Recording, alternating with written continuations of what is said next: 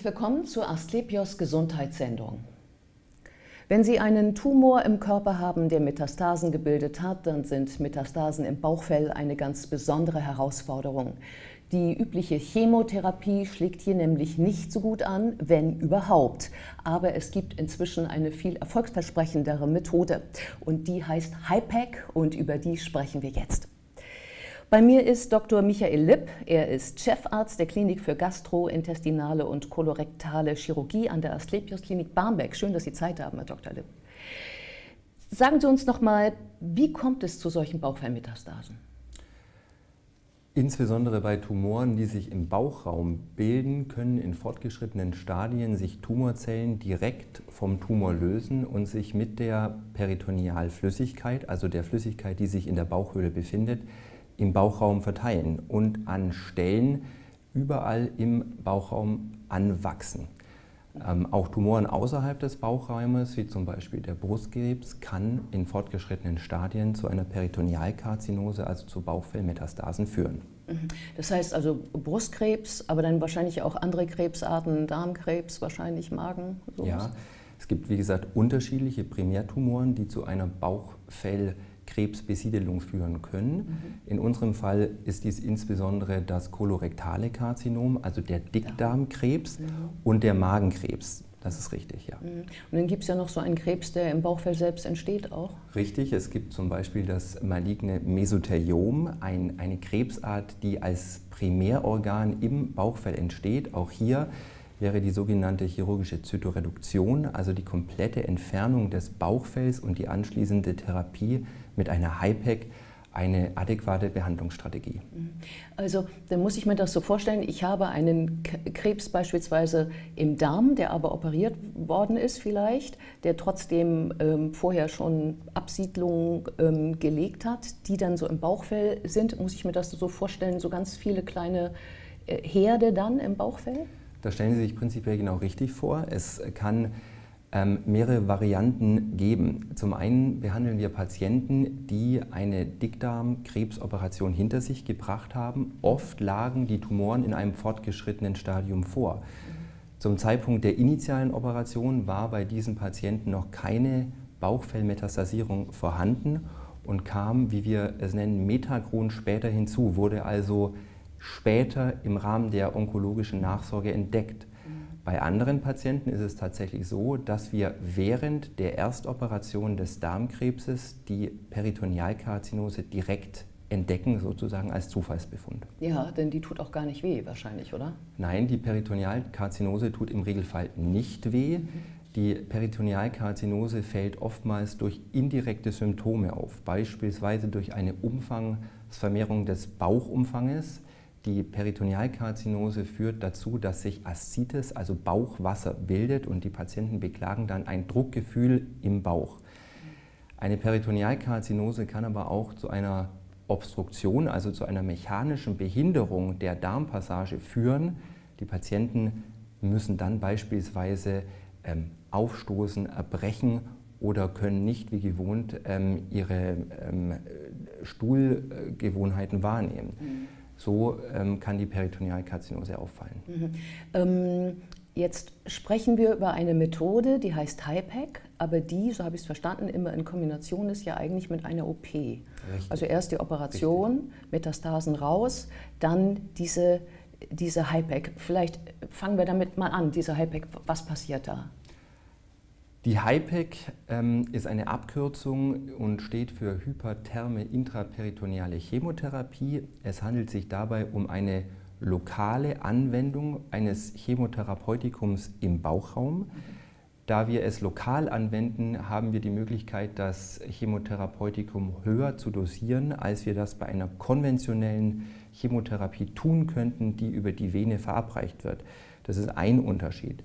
Äh, zum Zweiten wird die Trägerflüssigkeit, in der die Chemotherapie gelöst wird, ähm, erwärmt, sodass wir einen zusätzlichen Effekt durch die Hitze, also die Hyperthermie, auf die Tumorzellen haben. Die HIPEC ist sozusagen der Abschluss der eigentlichen Operation, nachdem alles an sichtbarem Tumor durch den Chirurgen entfernt wurde, kommt die HIPEC zum Einsatz und das Abdomen, also der Bauchraum, wird gespült, um die für uns mit dem bloßen Auge nicht sichtbaren Tumorzellen effektiv zu behandeln und abzutöten. Darauf möchte ich gleich noch mal genauer eingehen, wie das denn dann abläuft für einen Patienten. Aber eine andere Frage geht mir erstmal durch den Kopf. Wenn es so erfolgsversprechend ist, für wen, also kommt es dann für jeden Patienten in Frage, der zu Ihnen kommt mit, mit Bauchfellmetastasen oder gibt es da eine Eingrenzung?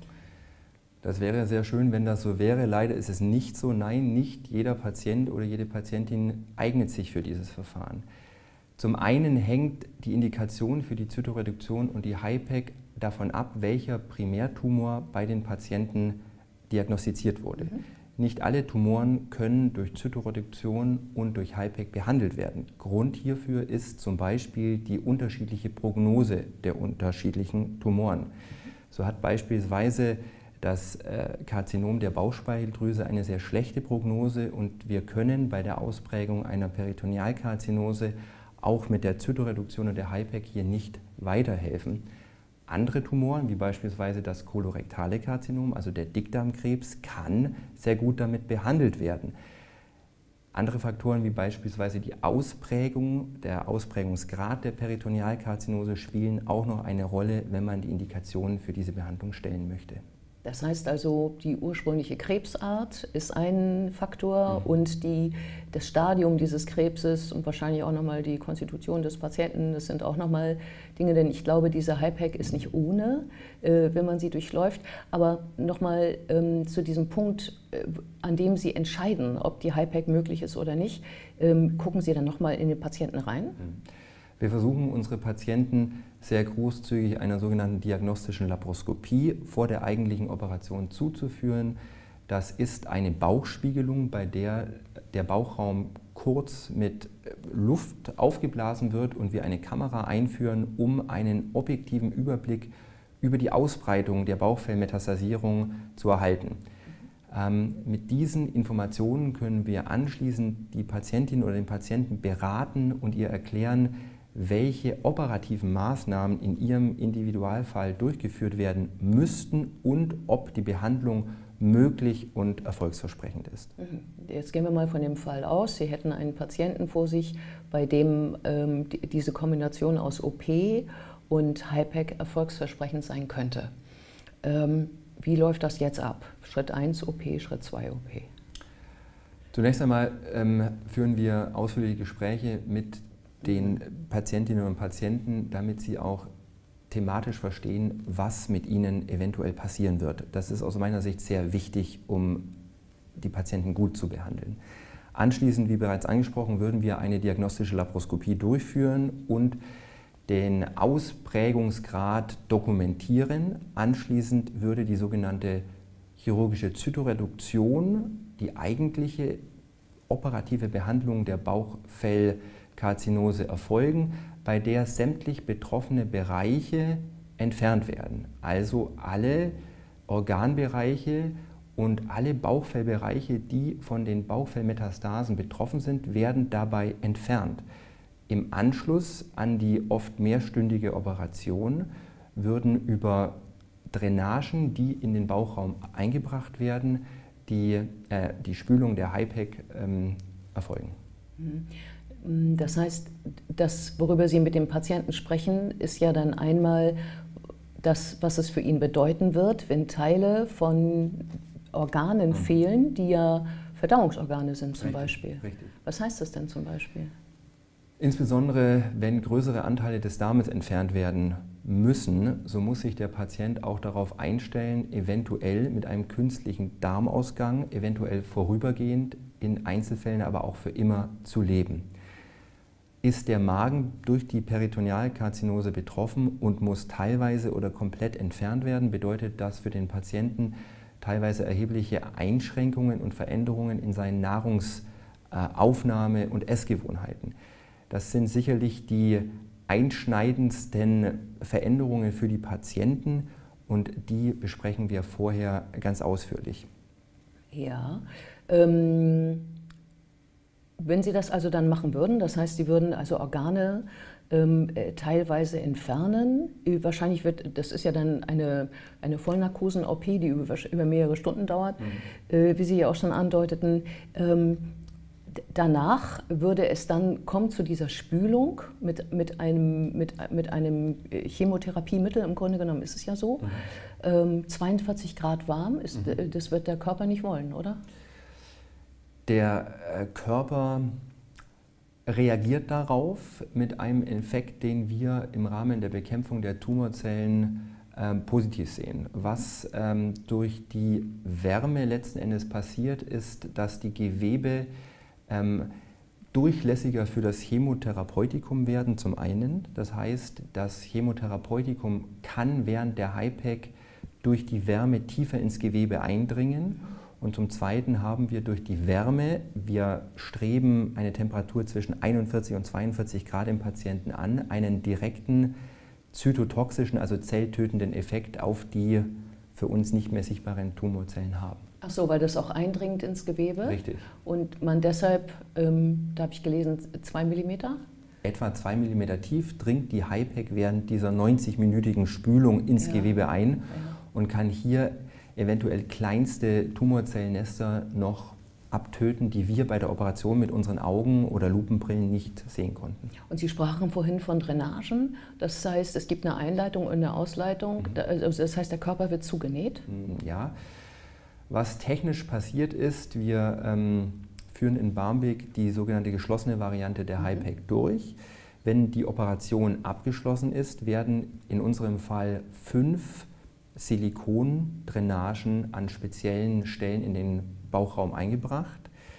Dann wird der Bauchraum verschlossen und diese Drainagen werden mit einer Maschine verbunden, welche im Prinzip eine, eine Heizung und eine Pumpe beinhaltet.